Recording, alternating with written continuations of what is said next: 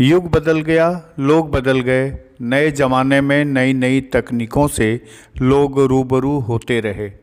मगर नहीं बदला तो कटिहार के हसनगंज के सोसा गाँव अस्सी सालों से करीब 300 परिवार आज भी जद्दोजहद के तहत जीने को मजबूर है।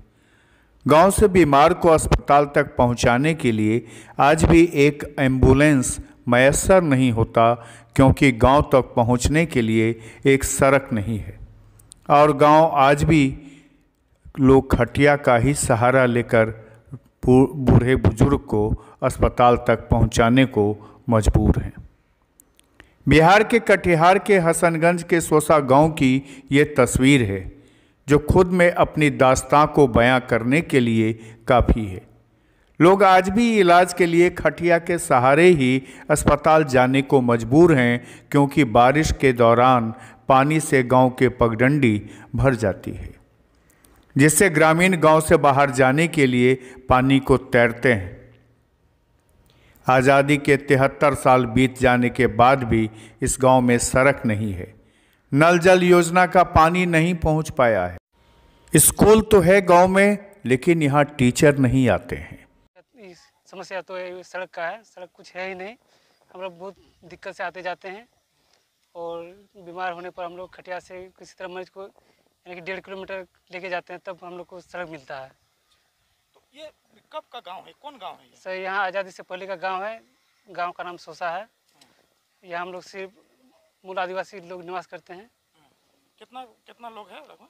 करीब तीन सौ लगभग परिवार। मंत्री विधायक के पास गए हैं कभी? जी हम लोग बहुत बार जा चुके हैं सर। क्या बोलते हैं? सर वो लोग कुछ सांत्वना दे के चल जाते हैं वैसे कुछ करते नहीं है।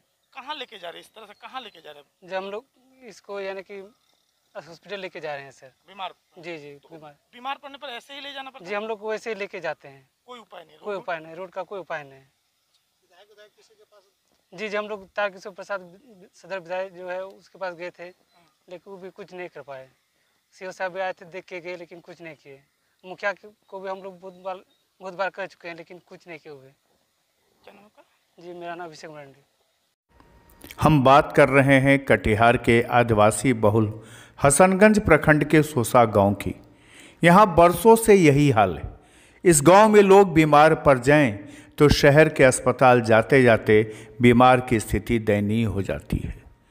टापूनुमा इस गाँव में लगभग 300 लोगों की आबादी है और इस गाँव में अब तक सड़क के नाम पर कुछ नहीं है।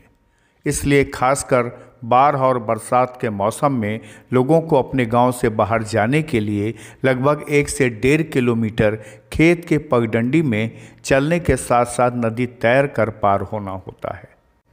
सबसे खराब हालत गाँव में किसी के बीमार पड़ने पर होती है। जहाँ लोगों को खटिया पर लाद कर नदी पार करवाना पड़ता है। मगर विधानसभा क्षेत्र के विकास के बयार के दावे के बीच आदिवासी बहुल हसनगंज प्रखंड के सोसा गाँव का ज़मीनी हकीकत ये बताने के लिए काफ़ी है कि आज भी देश के मूल निवासियों की सुविधा को लेकर सरकार और प्रशासन कितना जागरूक है। नहीं पहुँच पाया है। इसका हम जाँच करवाएँगे क्योंकि अभी तो हम हाल फ़िलहाल में ही ज्वाइन किए हैं। इस क्षेत्र का जो हमको जानकारी आप लोग के द्वारा मिली, या प्रतिनिधि से भी हमने संपर्क किया है कि ये एरिया वंचित क्यों है। तो इसमें कुछ तकनीकी समस्या भी है, जैसे लोग बता रहे हैं कि कुछ और प्रखंड का एरिया पड़ता है।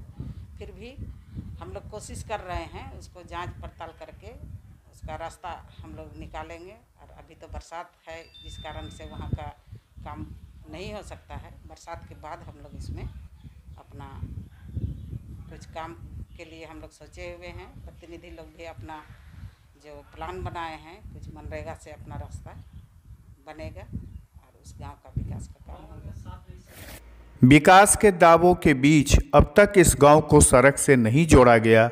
यह अपने आप में सरकार के निकम्मेपन को उजागर करता है। खुलासा के लिए कटिहार से निरंजन सिंह की रिपोर्ट।